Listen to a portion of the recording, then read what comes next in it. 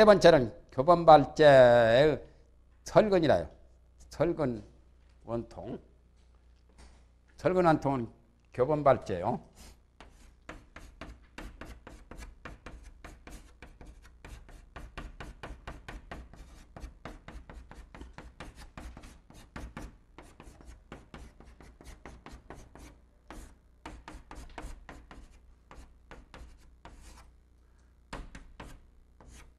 우편에 이자 잘 안 나오죠. 강의자전 같은 데나 나오지 일반 우편에는 저자가 안 나와요. 우시라고 번역해요. 교본 발제는. 우시란 말은 소가 아고 씹는 거. 소가 아고 씹는다는 것은 반추동물은, 반추동물은 그렇죠. 어. 이렇게 쓰던가.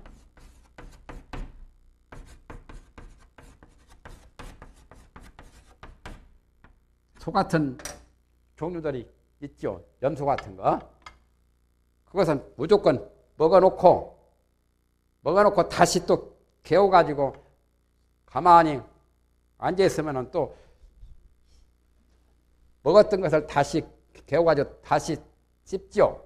그걸 반추동물이라고 하죠. 그런 것을 아고 씹는다고 그래요. 한번 먹은 것을 다시 또 찝는 거. 그러니까 소와 같이 그런 우시병을 아는 사람이라요. 그 전에 교본발제는 이설 혀가 다르면서 맛을 안다고 그 전에 좌우에 나왔었죠. 두 번 나왔어요. 이 교본발제가. 발란타 용언 귀가 없어도 듣고 뭐 그런 말 나오죠. 아나유란 눈이 없어도 보고 가섭은 의근을 다 없앴지만은 어, 원명 요지를 하고 와가섭은 법진 원통 거기에 대해서 여러 가지를 다 통달했기 때문에 그런 말들이 그 전에 처음에 나왔잖아요. 두 번 나온 거예요. 교본발제가 처음 나오는 게 아니에요.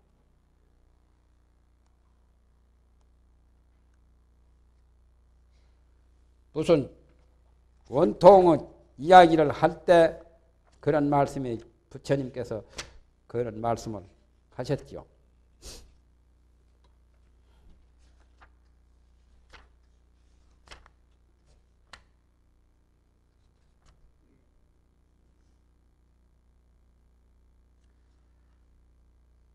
백구십 페이지에 나오죠. 사권에. 예? 운하신 번역 사권에 보면은 190페이지에 아나나 내가 어찌 알지 못하는가. 지금 이 회중에 아나율타는 눈이 없으되 보고 아까 안근원통에 안근원통입니까? 누굽니까? 아나율이. 발란타 용원 귀가 없어도 듣고 근가 신녀는 코가 아니어도 냄새를 맡고 근가는 항하 물귀신 교본 발제는 다른 혀로서 맛을 안다. 거기 나왔죠. 이설 어, 짐이라. 수녀다 씨는 몸이 없지만은 촉각이 있다고 했고 또 멸진정을 얻은 마하 가섭은 오랫동안 의근을 없앴지만은 원명하고 요지하는데 마음 생각을 인하지 않고도 원명요지를 한다고 거기에 나온 말들입니다. 거의 육군하고 상관이 없다는 것을 밝히려고 그런 말씀을 했죠. 바로 그분이라 교본발제가 교본발제가 그 자리로부터 일어나서 부처님 발 밑에 정례를 하고 부처님께 고하여 말하되 저는 구업이 있었다. 옛날에 구업을 함부로 돌리면은 그런 과보를 받아요. 과거 세상에 사문을 경공하고 세세 생생에 우시병이 있었단 말이에요. 과거 전생에 죽은 노릇을 할 때 어떤 노장이 노성이 이빨이 없이 이제 음식을 먹는데 그거 보니까 이상하거든. 예? 이빨이 없는 노인이 것이를 먹는데 음식을 먹는데 이상하게 참 우물우물 이렇게 하니까 그걸 비웃기를 말해. 저 소와 같다고 비웃었어요. 소가 이렇게 씹을 때 이렇게 옴모 이렇게 아주 이빨 없는 어, 사람처럼 그래가지고 세세생생에 어, 소 혓바닥이 져가지고 항상 우시 소가 가고 싶는 것과 같았어요. 그러니까 구업이 그렇게 무섭다는 거죠.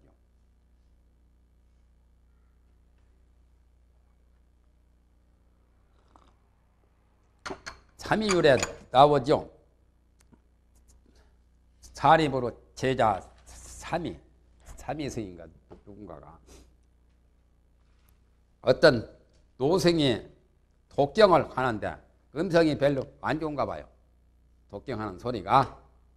그래서 젊은 그 어린 삼이생이 노성의 독경하는 소리 듣고 말해. 저 노장은 꼭 개짖는 소리 같이 독경하는 게 개짖는 소리 같다고 그런 말을 해가지고 나중에 그 다른 분이 그 말을 듣고 너 그렇게 구업을 함부로 돌리면 큰일 난다. 지옥 떨린다고. 저 노장이 보통 노장이 아니라고 말. 도가 있는 도성인데 함부로 저 도가 높은 스님을 개짓는 소리 같다고 독경하는 것을 이렇게 비웃었으니 너 지옥에 떨어진다고. 빨리 참여해라고. 그러니까 잘못했다고 이제 참여를 했거든. 참여를 했어도 어, 나중에 그 삼위가 어, 유탁 구신이란 말이 나오지. 그래도 개가 되었어요. 개몽이. 개 짖는 소리 같다고 개가지고 죽어가지고 개 되었어요. 지옥은 안 갔어도 개 그래가지고 나중에 사리불한테 그 제도를 또 받았잖아요. 사리불은 제자. 개 몸을 받아가지고 또 몸을 바꿔서 또 이제 사람이 되어가지고 사립을 제자 되어서 제도를 받은 그런 사실이 있어요. 그래 참 무섭죠. 발상록에 보면은 나오죠. 발상록에 보면은 인도의 부처님 당시 때 저 저 큰 물에서 고기를 한 마리 잡았는데 고기가 머리가 이상한 여러 가지 머리를 가졌어요. 그래가지고 그런 이상한 동물 그 물고기가 있다고 이제 부처님께 그 사실 물으니까 부처님이 저 사람은 과거 전생에 어, 상당히 좀 똑똑하고 지식이 뛰어나고 그런 사람인데 말을 함부로 해서 자기 제자들 보고 너는 곰대가리 너는 돼지대가리 너는 석두 너는 뭐 말대가리 그러니까 머리가 둔하다고 그 제자들을 어, 말할 때 그렇게 너는 곰대가리, 너는 소대가리, 너는 말대가리, 너는 돼지대가리 그런 소리를 자꾸 해가지고 죽어서 그 동물이 되어가지고 머리가 이상하게 말대가리 같기도 하고 소대가리 같은 것도 있고 또 돼지 대가리 같은 것도 있고 개 대가리 머리를 대가리라고 하잖아요 머리 그런 것이 생겼다는 그게 팔상록에 나오잖아요.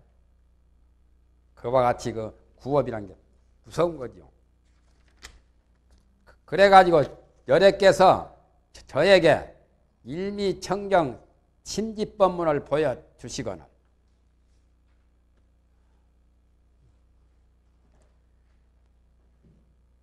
그래서 중은 또 저기는 되었어요. 중을 만들었어요. 교본발제를 교본발제도 상당히 도가 높은 나중에 아라한이 되었잖아요. 일미청정 심지법문이라 것은 연불삼매요. 연불법이라요. 연불이라 것은 딴 생각이 없고 꼭 어, 부처만 생각하는 그거니까 일미죠. 그게 바로 청정한 마음 땅이죠. 심지법문이라. 연부를 하면은 다른 그 어, 여러 가지 지옥, 악이, 축생, 아수라, 천상, 인간 모두 그런 것을 다 어, 초월해 가지고 가장 그 순수하고 가장 청정한 그런 법이기 때문에 그래서 청정 심지법문이라고 하지요. 십법계 가운데 불법계가 최고 아니요? 그래서 연불산매를 일미청정 심지법문이라고 해요. 그래서 연불법을 가르쳤어요. 부처님은 그 근기에 맞도록 그 도를 일러 주시는 것이 방법을 거기에 근기에 맞추어서 가시죠. 아까 줄이 반탁가는 우둔하니까 우둔한 사람한테는 수식관을 가르쳤고 이분은 무시병이 있으니까 항상 가만히 있어도 이렇게 이렇게 하요. 그래 자기 혼자 뭘 씹는 것 같으니까 그걸 캄프라치하고 커버하려면은 이 염주 같은 거 주가지고 나만 탑을 해야 그게 커버가 되잖아요. 입을 잡고 이렇게 놀리니까 말. 그래서 염불법을 가르쳤단 말이에요. 염주도 아마 그때 나왔을 거예요. 그걸 돌리면서 나마미 타볼 뭐 이렇게 하죠. 그래서 제가 마음이 없어짐을 얻어서 마음을 초월해서 생멸심 생멸심이 없어진 거죠. 그래가지고 산마지에 들어서 산매에 들어서 미를 관찰하는 아는 것이 이라고 하는 것은 어, 혀를 가지고 맛을 아는 거죠. 지금은 설근 아니요? 설근이기 때문에 설근이 맛을 보지요. 설근 원통이요. 그거 아는 것이 채도 아니고 어, 물도 아닌 것을 관찰해가지고 미유 아는 것이 채도 아니고 물도 아니다. 채라고 하는 것은 그의 채. 물이란 말은 마시고